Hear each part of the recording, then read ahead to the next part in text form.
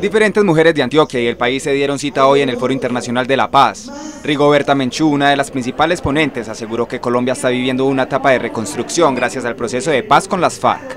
He sido una de las personas que he invitado a muchas personas del continente para que acompañen el proceso de paz. No debe haber jamás retroceso de lo que ya se avanzó. La Nobel manifestó que el Congreso debe adquirir un compromiso cada vez más estrecho con el proceso para que los resultados se reflejen a corto plazo. Tenemos que garantizar que en el Congreso hayan personas comprometidos con la sociedad y con los acuerdos de paz, porque si no, en el Congreso se retroceden o en el Senado se pueden retroceder los procesos de paz. Por su parte, el gobernador Sergio Fajardo recordó que las mujeres son protagonistas en la construcción de país. De acá de nuestro territorio, con todo lo que queremos, han salido algunas de las expresiones más violentas. Y eso nos duele, pero lo tenemos que reconocer.